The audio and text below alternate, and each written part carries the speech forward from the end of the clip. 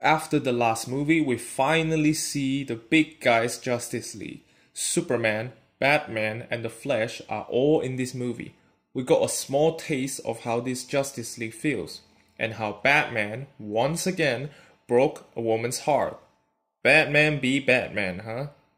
Always playing with a woman's heart. He just can't help it.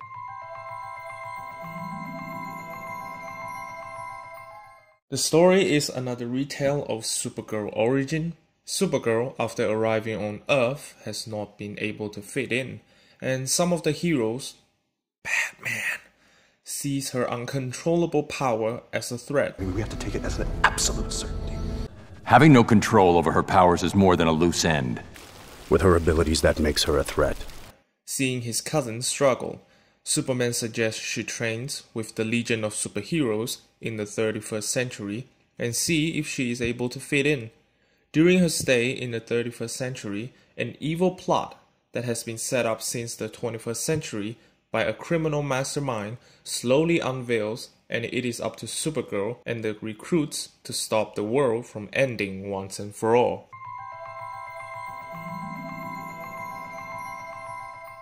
The movie continues the same style of animation from the previous movies in the same universe. I think the animation style is fine, not bad. I don't have a problem with it. It's different from other DC original animated movie, but I don't love it either. It does give me the feel of looking clean and modern, but very detailed at the same time. And the color is very bright everything is very clear to me. But I still don't like the part where every time an action plays out, there will be a slight pause before the character continues with the next action. I have been noticing this ever since the first movie, Superman Man of Tomorrow. But I think this movie has slightly reduced the duration of those pauses. They aren't that long like in other movies. Maybe they will slowly take out these pauses, but it will kinda make it lose the style of its animation.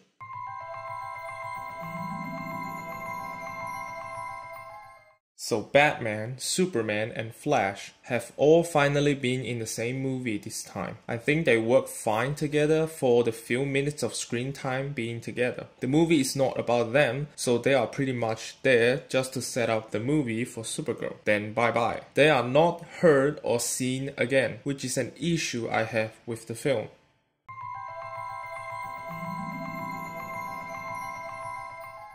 In the 21st century, the Justice League correction, Batman is a tool to set up the final straw that leads to Supergirl giving up staying on Earth. You just can't control yourself, huh, Bruce?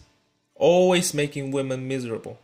But before Supergirl leaves, we see Batman already detecting something is wrong and successfully proven his hunch. But this storyline is to further suspend the audience that something is going to go down in the 31st century, nothing more. And after the crisis has been eliminated in the 31st century, we never see Supergirl and the other heroes do anything to stop the brewing of this crisis in the last century, despite Supergirl's knowledge of it. We also never go back to Batman and the Justice League dealing with this situation. I know this is Legion's movie, but I don't think the Justice League should be involved with the plot in the first place if they are not going to end their part of the story. I know it can be explained with butterfly effects and all the other bullshit, but those theories are not established in this universe yet. Even if they are, how can Superman or the Legion of Superheroes recklessly make contact through time? So, the ending and the double storyline did not do it for me. It's not even a double storyline, more like one and a half, because the 21st century storyline ended after it began.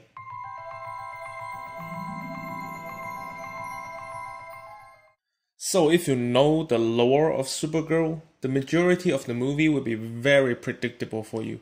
If you don't know much about the lore, then you might have a chance to find the movie entertaining in terms of story development and the mystery, especially guessing which character is secretly evil. But I did not see the reveal coming regarding the main villain. Maybe I'm stupid.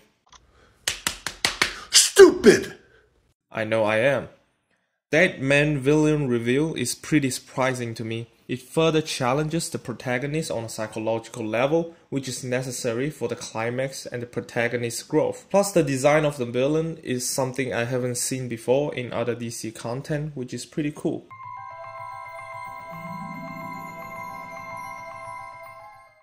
Spoiler alert for this section if you haven't watched the movie and don't want to be spoiled. I will be talking about the main villain of the movie, so use the timestamp to enter the next section. If you don't care about spoilers, then let's continue. First, the right hand man of the main villain, Mon-El, I don't like him at all due to me having the knowledge that Brainiac 5 is a good guy and he will end up with Supergirl, the idea of having Mon-El as the potential love interest to cover up his true identity is kinda not really working and ruins the reveal of him being evil. Plus, his motivation to be bad is logical but weak, in my opinion. He only speaks on doing it because he thinks others are inferior, and that's why he idolizes Kryptonian. But the movie never shows me how he came to this idea that is so drastic that he secretly joins a cult helping them to infiltrate the Legion. He has never seen Krypton, never been to Krypton. It is impossible as Krypton was destroyed a century ago. And his idolization of Kryptonian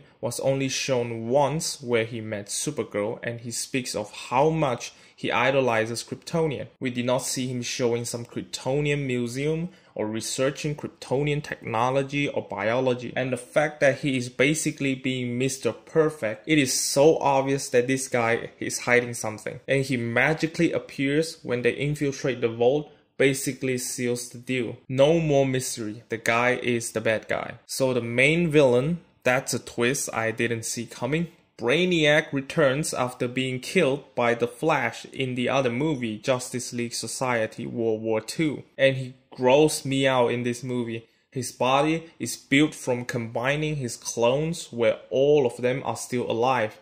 They are literally heads on his body that can speak, and the ending where all the clones rebel against Brainiac and burst out of his body, blood is spilling everywhere. Brainiac's body is also covered in blood the imagery is disturbing to me. And he also killed himself by literally tearing himself in half. They only show the shadow of it, but the thought of it is still very haunting. I like that.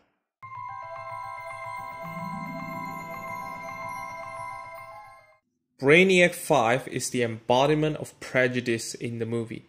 The people around him don't trust him because he is a Brainiac. This is great. But this quickly turns into nothing more than an obstacles to be overcome between him and Supergirl. Those heroes being put in charge of supervising the recruits initially showed extreme prejudice towards the kid. They even locked him up when something happened without even investigating or give him a trial. But again, the ending failed me.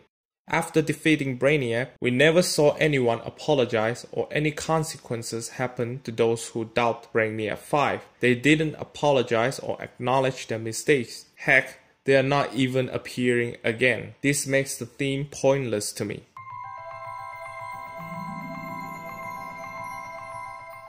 The movie is animated beautifully. It has some themes that can be great, but I don't think they use the potential of those themes very well, and the ending doesn't do it for me. We have seen this type of story many times before, where a group of newbies have to work together to defeat an evil force that invaded the school. You know how the old crime comedy, whenever the main character finish fighting, then all the cops arrive and the movie ends with the main character having a kiss? That's literally how this movie ends.